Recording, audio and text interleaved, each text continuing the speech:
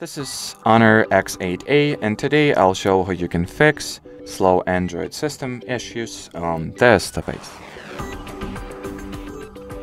First, if your system feels slow or sluggish, begin by cleaning your RAM cache or closing all background active or recent apps. Simply well, open the list of recent apps and tap at this trash bin icon at the bottom.